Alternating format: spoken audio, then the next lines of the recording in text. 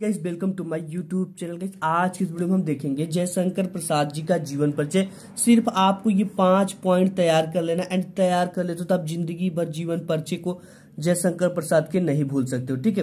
क्या क्या तैयार करना सबसे पहले हम बात करेंगे इस वीडियो में कि एक ही जीवन पर्ची को दो छात्र हल हल करते हैं, ठीक है? लेकिन उनके नंबर अलग अलग क्यों मिलते हैं? जैसे एक नॉर्मल स्टूडेंट बिना वीडियो देखे, अगर वो जीवन पर्चे को हल करता है तो आपके बोर्ड एग्ज़ाम बोर्ड एग्ज़ाम 2024 में जो हिंदी में जीवन पर्चे आता, आप देख सकते हो वो कितने नंबर का आता है। वो पाँच नंबर का था, यानी तीन नंबर इसके जीवन परिचय लिखने का एंड दो नंबर इनके किन्हीं एक रचनाओं का उल्लेख करने का।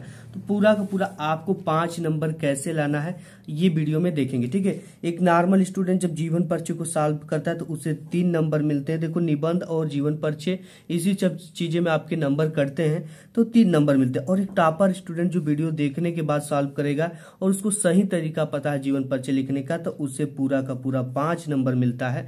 तो ये कैसे मिलता है इस वीडियो में हम देखेंगे, ठीक है? तो हमने बताया केवल आपको पाँच पॉइंट तैयार कर लेना है एंड पाँच पॉइंट तैयार कर लेते तो आप जीवन परिचय ज़िंदगी भर नहीं भूलोगे। सबसे पहले इनका जयशंकर प्रसाद जी का हम जीवन परिचय किसका लिख रहे हैं? जयशंकर प्रसाद का तो इनका नाम लिख देंगे यहाँ पे जयशंकर प्रसाद।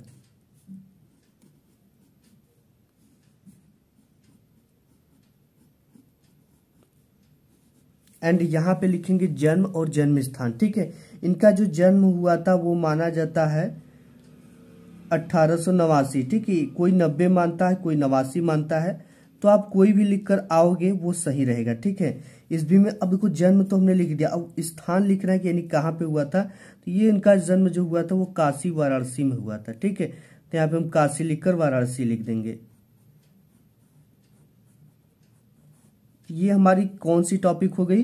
दूसरी टॉपिक ठीक है? और तीसरा आपको क्या करना इनके माता पिता का नाम, ठीक है?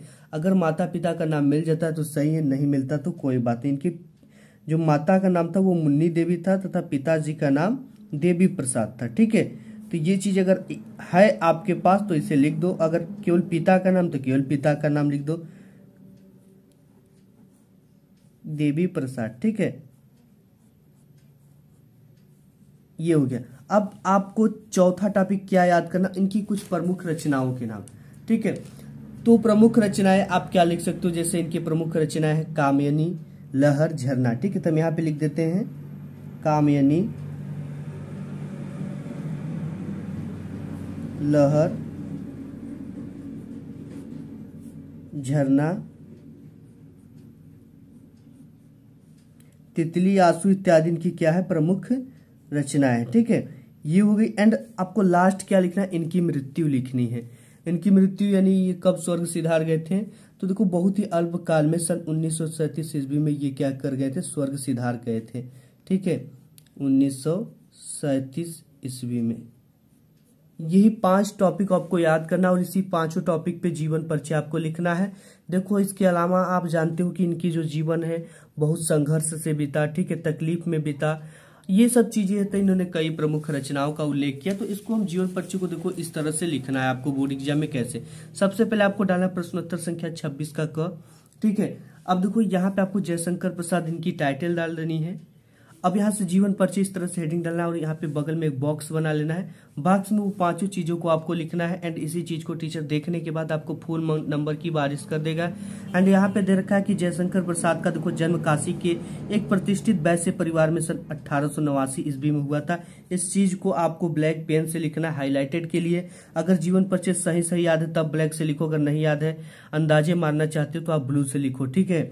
ईस्वी में हुआ था, इनके पिता का नाम देवी प्रसाद था, आप ये जानते हो, यहाँ पे ब्लैक पेन से लिखना है, तथा तो माता का नाम मुन्नी देवी था। ठीक है, इसे ब्लैक पेन से लिखना है। बचपन में ही पिता का मृत्यु हो जाने के कारण जयशंकर प्रसाद की प्रारंभिक शिक्षा घर पर हुई। घर पर ही इन्होंने हिंदी, संस्कृत, उर्दू, फारसी भाषा का गहन अध्ययन किया। ठीक है, देखो, जो सभी आपके जो लेखक है, चाहे कवि है, उनकी परिस्थिति सेम रही है। उन्होंने ही घर पर स्टडी किया हुआ है और हर एक चीज़ उनकी संघर्षशील रही है। किंतु बाद में इन्हें अत्याधिक कठिनाइयों का सामना करना पड़ा। इनका जीवन बड़ा ही संघर्षशील था। नेक्स्ट देखते हैं यहाँ पे। अल्पावस्था में क्षय रोग से ग्रस्त होकर सन उन्नीस सौ में ये स्वर्ग सिधार गए। अब इनकी कुछ प्रमुख रचना जैसे कामयनी हो गया, लहर हो गया, तितली हो गया, झरना हो गया, इत्यादि को आप इनकी रचना लिख सकते हो इसके बारे में कि कामयानी क्या थी, कब लॉन्च की गई ठीक है? लहर क्या है और इसको कब प्रकाशित किया गया, इसके परिणाम क्या है? थोड़ी सी आप डिटेल्स लिखोगे तो पूरी की पूरी आपको बोर्ड एग्ज़ाम में पाँच नंबर मिलेगा। तो गाइस आज की इस वीडियो में बस इतना ही। मिलेगा नेक्स्ट वीडियो में तब तक के लिए धन्यवाद।